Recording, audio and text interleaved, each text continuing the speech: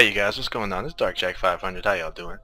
I've been getting a lot of uh, requests and uh, DMs about my PvP setup.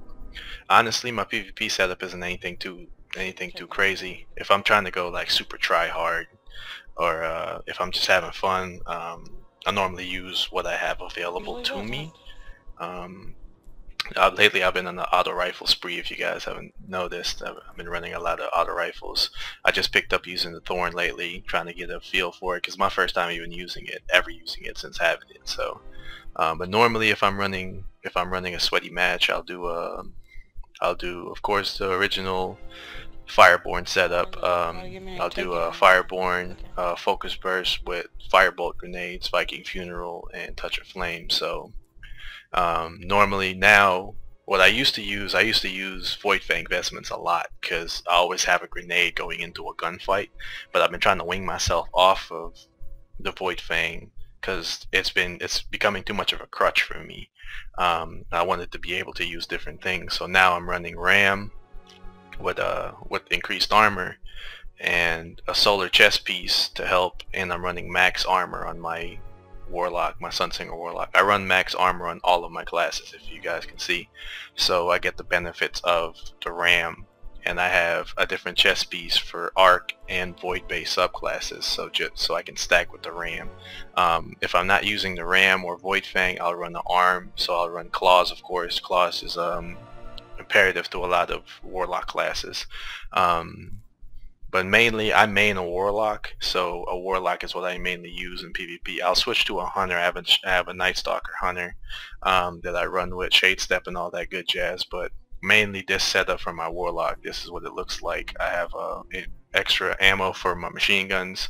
The machine gun doesn't really matter. I normally run just a machine gun because I seem I, I get a lot more kills with a machine gun than I would with a rocket launcher so no, and I'm running uh, Deidris's Retort because this right here, this this uh, Deidris's Retort, I got this out of a uh, out of a uh, rank five Iron Banner package.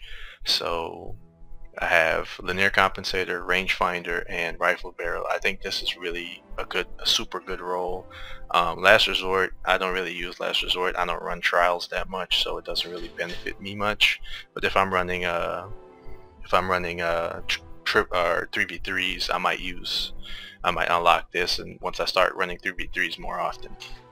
But um, yeah, it's mainly that shotgun and the and the base shotgun you get from the from the quest line, the conspiracy theory that everybody is using. I normally run that too. So, but mainly I switch between for my primary I'll switch between an auto rifle and the pulse rifle and once I get my super I'll start using the Tlaloc here and there depending on the type of map. If it's a short range map I'll use an auto rifle or, or a pulse rifle. But if it's a, a long range map like Frontier or um, Crossroads or um, Twilight Gap I'll get those long sight lines that I need and I'll use the Tlaloc so right now I'm running Oversoul Edict. I know all of you are gonna say, "Oh, Oversoul Edict's not really that good." Uh, where you guys at? Watch it. Watch gameplays of me doing uh, this. I'll probably put a gameplay up soon of me using the Oversoul Edict in game, and you guys will see this thing melts. Period. So definitely check the oh, okay. definitely check this gun out oh, and make sure you see what it's capable of. So yeah, this is my basic warlock setup. Um, so.